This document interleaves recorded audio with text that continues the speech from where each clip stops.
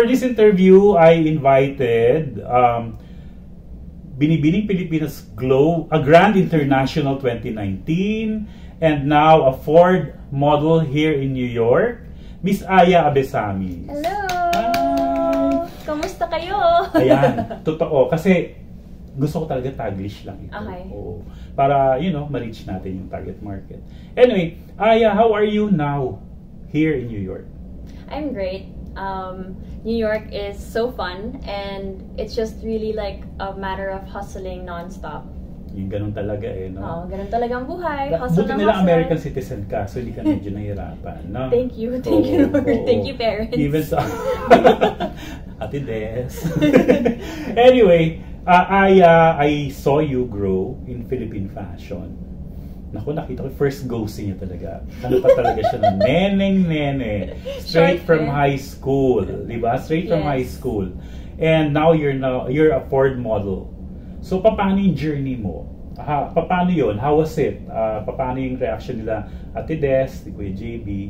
Ano yung reaction nila when you entered modeling? Kasi they themselves were successful models during their time. Mhm. So, ano yung, ano yung, ano yung naging support nila sa'yo? How did they react? Well, all throughout my journey, my parents like really helped me to the point that they were mentoring me on what to do, what not to do.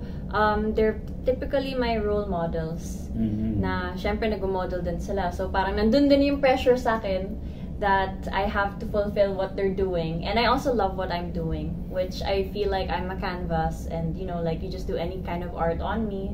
So, um, yun, yun, that's the one that really pushed Pero me. Aya, was there any pressure? Kasi your dad and your mom were top models during their time. Did you feel any pressure or or wala, hindi mo na lang inisip?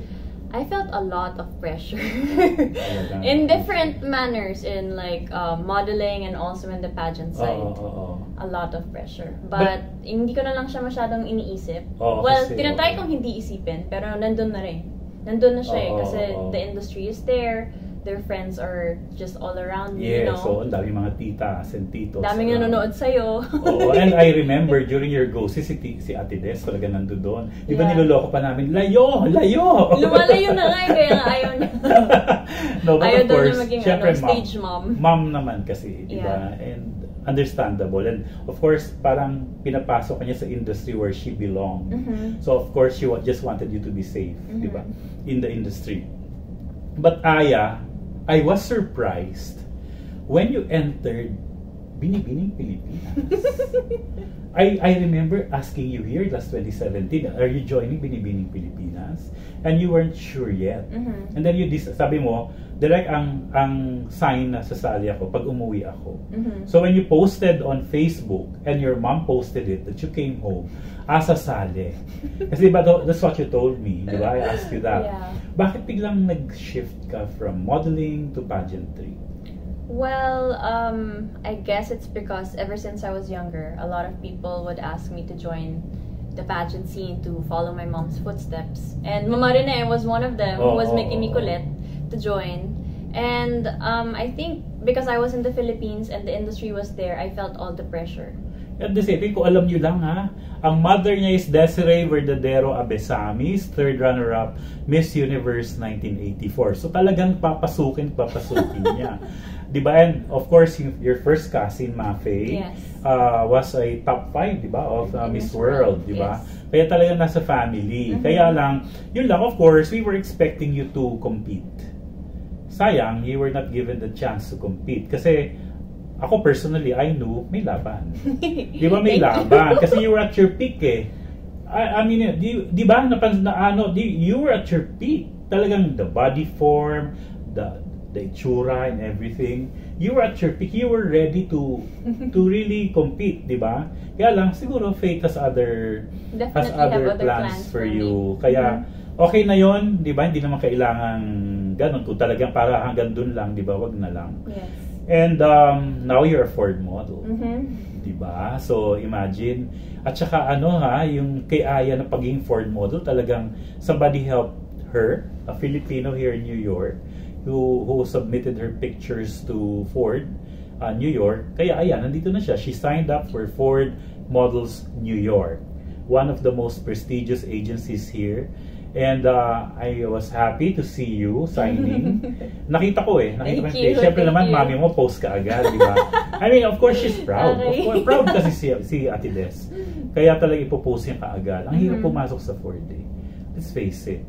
And of course, syempre, Aya, you came from a pageant, well, pageant form of body. Mhm. So tapos, anong ginawa mo para, you know, kailangan, alam mo naman sa Ford ang standards eh, di ba? Well, I what I see for myself, it's not really a pageant body because Mhm. ever since yun na yung body ko, Skinny, like oo. very skinny, um, not very like in my hips or my Oo, boobs or oo. anything, but I just stuck with it and just worked hard.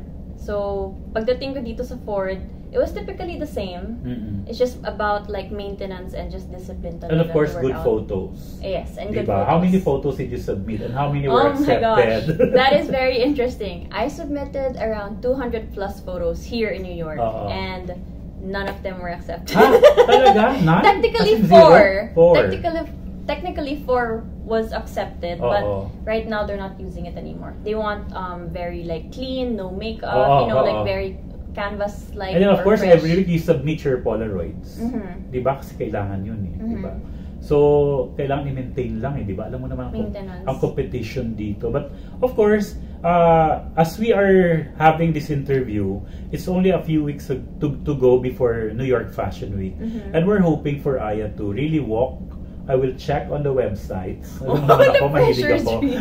But uh, no pressure. Siyempre, kal- ka- kaligaya naman namin makita ka doing the runways of New York Fashion Week. Di ba? Hopefully, oo. Fingers crossed. At saka sinasabi lang ang schedule the night before, di ba? Minsan the day before. Yes. So konting tiis lang, Aya, kayang-kaya naman. But Aya, you know, as I've told you earlier before we started this interview, the profile of my viewers is 14 to 25. Mhm. What will you tell young girls out there who would like to be like you, Aya Abisamis? um, my message to you guys is that always believe in yourself don't stop or be scared of like being comfortable because you always have to like sh- there's a certain struggle in life that brings you to a higher to a higher you so yeah work hard and just believe in yourself Yun lang, kasi um, na, na, na-reach mo na tong Ford, no? Mhm. Tong iyong status sa sa Ford Models New York. Mhm. What are your other plans after modeling? Well, I what I dream is that I could still continue modeling up until my max. Mm-mm. So, no matter what age you are, it's still possible.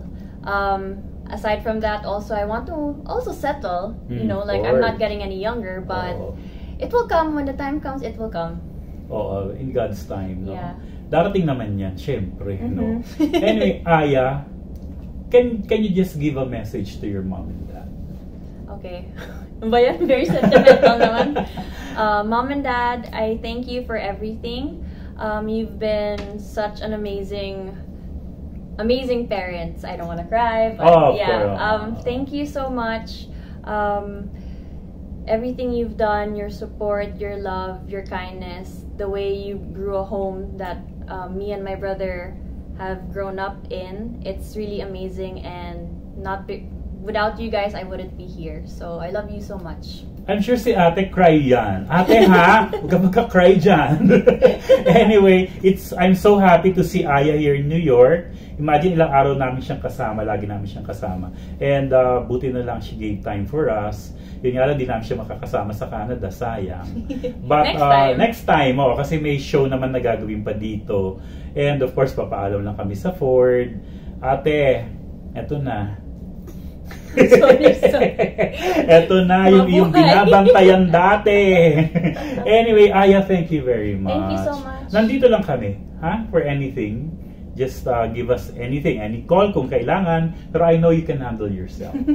diba? Kayang-kaya mo yan, Thank Aya. you.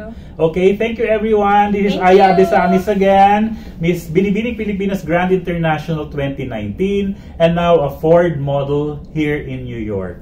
Bye! Bye.